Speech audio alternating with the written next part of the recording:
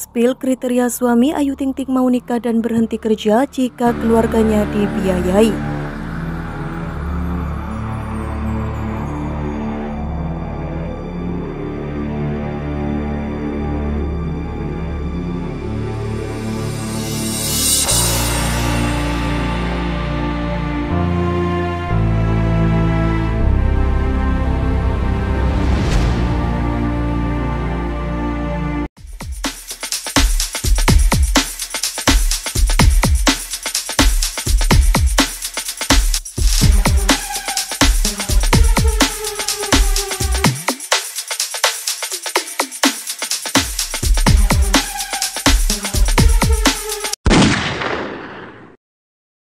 Penyanyi dangdut sekaligus presenter Ayu Ting Ting telah lama menjanda.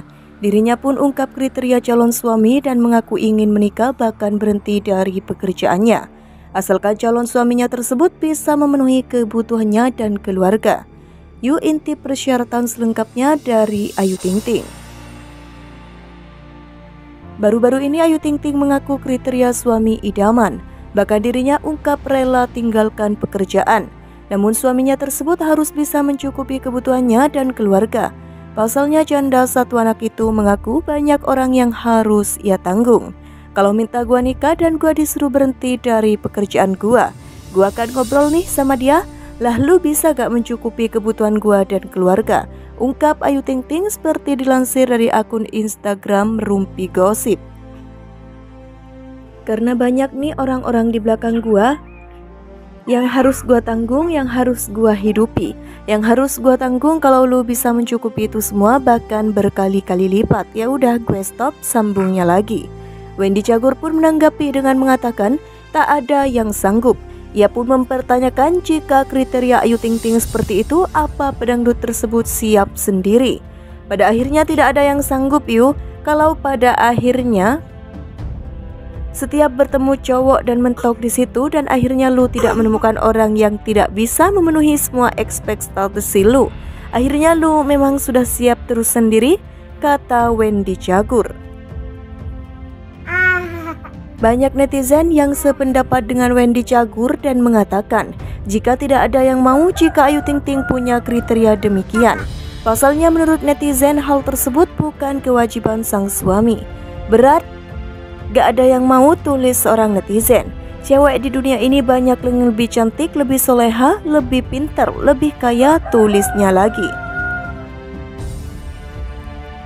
Woi emak bapak lu kasih usaha, kasih kontrakan udah cukup Makan dari situ tugas suami lo hanya lo dan anak lo Emang lo siapa? Katanya lagi Pas jawab berapi-api banget pas dibales lagi sama si Wendy Langsung hah? Hah? Iya juga ya Komentar seorang netizen ke Ayu Ting Ting Ayu Ting Ting ungkap alasan mau dinikahi Muhammad Fardana.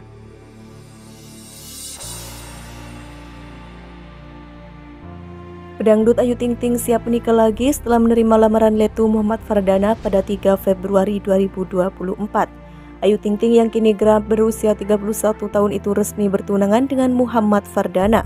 Pertunangan hingga kriteria calon suami pedangdut bernama asli Ayu Rosmalina tersebut menjadi perbincangan warganet di media sosial hingga berbagai portal berita online.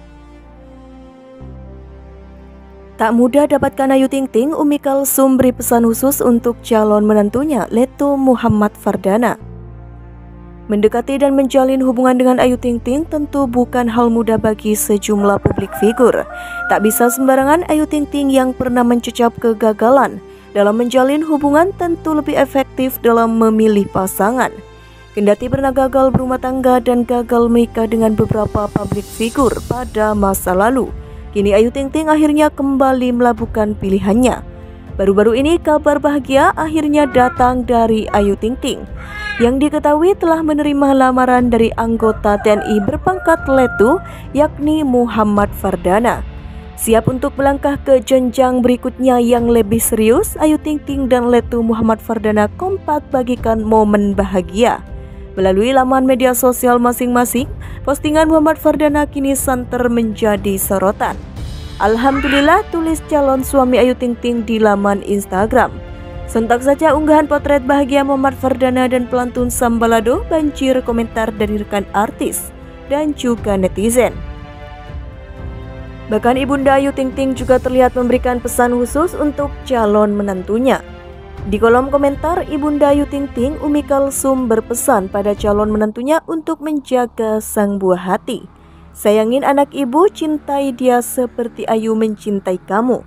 Tulis Umi Kalsum lalu menyelamatkan menyematkan emotikon tangan menjura dan memeluk. Sontak saja pesan yang ditulis Umi Kalsun dalam postingan pria